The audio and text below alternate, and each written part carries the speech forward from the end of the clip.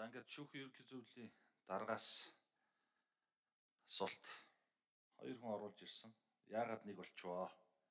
Ямар учир шалтгаан болчихвоо? гэдгийг асууя. Байнгын орооноос бас энэ асуудлыг яагаад ингээд хоёр хүн явж хахад нэгийг оруулж ирээд нэгийг хаяад гараад ирвэ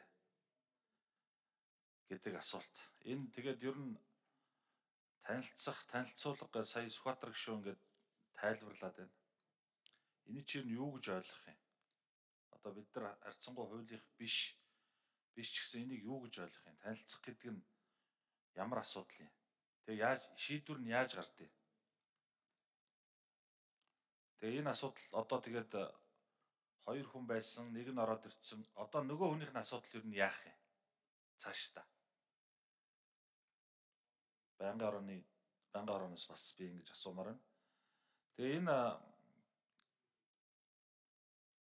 дээд шүүхийн шүүхт одоо нэр дэвшиж байгаа энэ одоо нэр дэвшчихээс бас асуу энэ дээд шүүхтэр одоо ингээд нэг гацаатай асуудал үүсдэг. За одоо яг ийм нэг кейс өнөөдөр яг энэ энэ асуудал төр үүсчихэд байна. Танилцах гэдгийг яаж ойлгох юм? Одоо тэгээд цаашаа яаж шийдэх юм гэдэг асуудал ингээ гацж байгаа. Тэгэхээр энийг цаашд нь одоо хэн тайлбарлаж зөв учир начир нь зөвөө гэдгийг биднэрт олон ард түмэнд хэн тайлбарлах ёстой. Дээд шүүх чинь ер нь тайлбар гаргахаа болчиход байгаа. Тэгэхээр энэ нь тайлбар цаашдаа гаргах юм уу, гаргахгүй юм гэдэг ийм асуулт байна. За мөн энэ тэр хүн амьтны нь бол яг нэг үг хэлэхэд одоо мэдгчгүй, танихчгүй одоо нэр нь чи мэдэхгүй. За тэгээд энэ дээр нэг тийм одоо хоёр ялгаатай асуудал гарч ирээд байна. Үзүмжийн ашиг сонирхлын маягийн нэг нь болохоор сайхан магтаад ингээ тийм ийм гээд ингээ сайхан магтаад явуулцдаг. Нэгийг нь болохоор улс орон даяар банкных банкных гэж цолж цолж ирсэн аа сүүл рүүгээ болонгууд хуулийн шаардлага гэдэг. Тэгээ үнэхээр энэ хүнийг ингээд энэ үндсэн хууль заасан эрхийг нь хязгаарлаад эрхэлсэн ажил юм хумаар нь албан тушаалаар нь ажиллаж исэн байгууллагаар нь ажил мэргэжлээ чөлөөтэй сонгох энэ үндсэн хууль заагдсан эрхээр нь сонгох сонгогдох эрхээр нь ингээд боогод ялгаад ээж болох юм уу? Цаашдаа эн чинь ингээд жишг болоод явах юм уу? Энэ бол жишг болж явна шүү. Бүх томилгоон дээр жишг болж явна. Тэр хүний нэг байгууллагт ажиллаж исэн хийж исэн албан тушаалын яриа л одоо цаашаа юм ярьдаг болно. Энэ байдлаасаа яаж гарах юм бэ? Ингиж хүнийг ингэж ялгууртаа хандаж болох юм уу?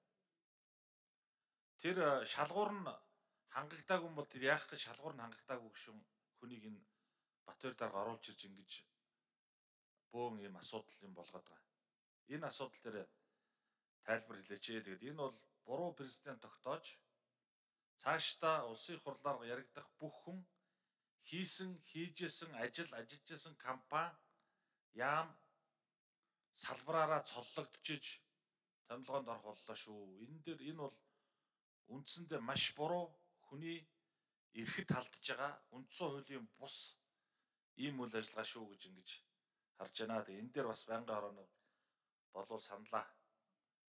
Ямар асуудал байгааг нь хилчүүл сайн бай сонсхийг хүсэж байна. За, улсын хурлын чуулганы хуралдааны дэгийн тухай хуулийн 104 дугаар зүйлээр улсын дээд шүүхийн шүүгчдийг улсын хуралд танилцуулах журмыг зохицуулсан байгаа. За, хуулийн 104-ийн 3-т байнгын орооны болон нэгдсэн хуралдаанд гишүүд шүүхийн ерөнхий зөвлөлийн дарга болон нэр дэвшигчээс асуулт асууж үг хэлж болно гэд заасан байгаа. Тийм учраас зөвхөн одоо шүүхийн ерөнхий зөвлөлийн дарга болон За 82 дугаар микрофон дээр хоёр дарга таван гишүүний асуултанд хариулъя. За энэ асуудал бол 2020 оны 5 сарын 20-ны өдөр зарим хүмүүсийг улсын дээд шүүхийн шүүгчийн албан тушаал томилуулах тухай саналаа шүүхийн ерөнхий зөвлөлөөс Монгол Улсын их хурл болон Монгол Улсын ерөнхийлөгчөд хүргүүлсэн байгаа. За энэ асуудал ингээд 6 сар хилцэлдэгдгүй явсан. За мэдээж сонгуул гээд шалтгаанууд байгаа бах. тэгээ өнгөрсөн 7 хоногт бол хууль зүйн байнгын орооноос нэр дэвшигчтэй танилцуул гэж хэлсэн. За Энгөр нь бол хоёр нэр дэвшигчийг бид танилцуулсан. За хууль зүйн байнгын орооны эхний хуралдааны явцад болохоор хууль зүйн орооны хууль зүйн байнгын орооны гишүүдээс хойшлуулах санал гаргасан. Гормын. Ингээ хойшлогдсон. За өнгөрсөн мягмар гарагт болохоор мөн нэр дэвшигчтэй танилцуул гэдэг хойшилсан болохоор танилцуул гэдэг асуудлыг оруулж ирсэн. Оруулахад гормын санал гарсан. Нэг нэгээр нь оруулж иргэсэн.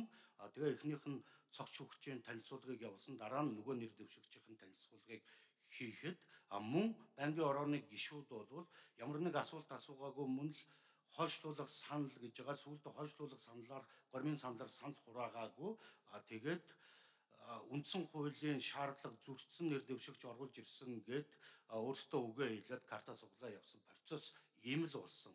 Ямар дэг юу гэдгийг нь би хэлж мэдэхгүй.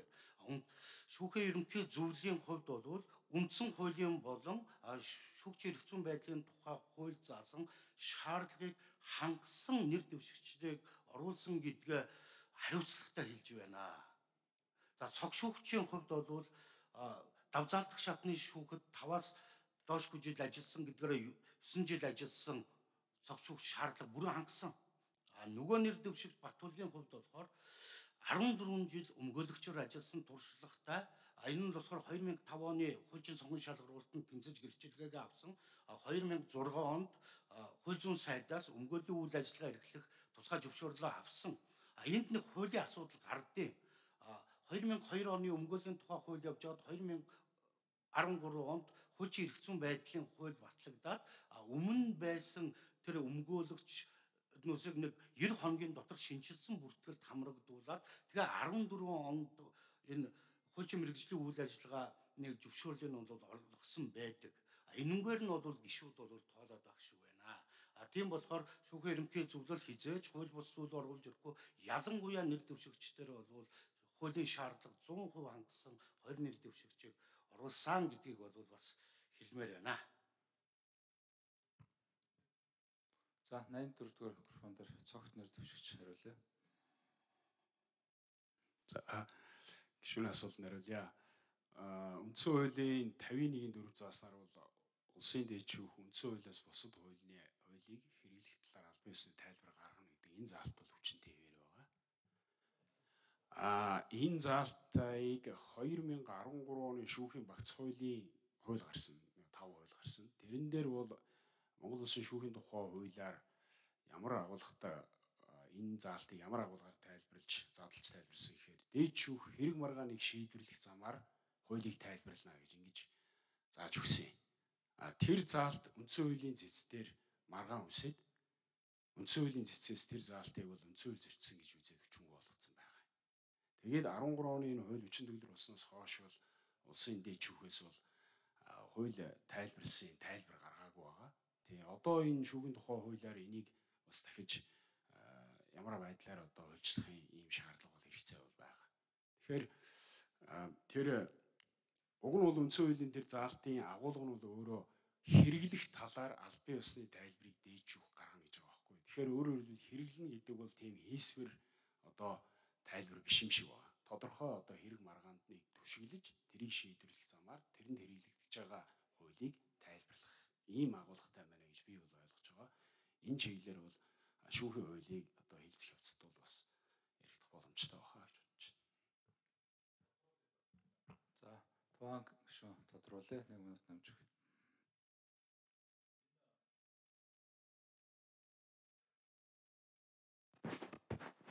За энэ тэгэд байнгын ороо хариулахгүй хин хариулах. Одоо тэгэд энд эртэд бид нар чинь нөгөө нэг дээд шүүхийн шүүгч ЭГГ минь дутагдaltaй байна. Өстой ачаал ихтэй оруулъя барий гэл яриадсан. Тэгээд одоо хүмүүсийн томилыг гэхээр нэгийг нь хайчиж байгаа. За тэгээд за одоо хайчдсан байж. Тэгээ одоо цаашаа яах юм?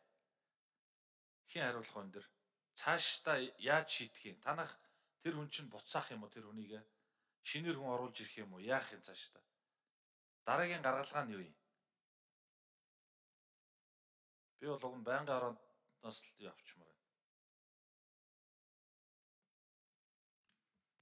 Энэ зөвхөн цогт нэр дэвшигчийг улсын хуралд танилцуулахтай холбогдуулаад шүүхийн ерөнхий зөвлөлийн дарга болон нэр дэвших цогтоос асууж байгаа учраас тэгээрч гэсэн одоо таны асуултанд бас хариулах юм зохицуулт бас байхгүй байна. Авчлаарай.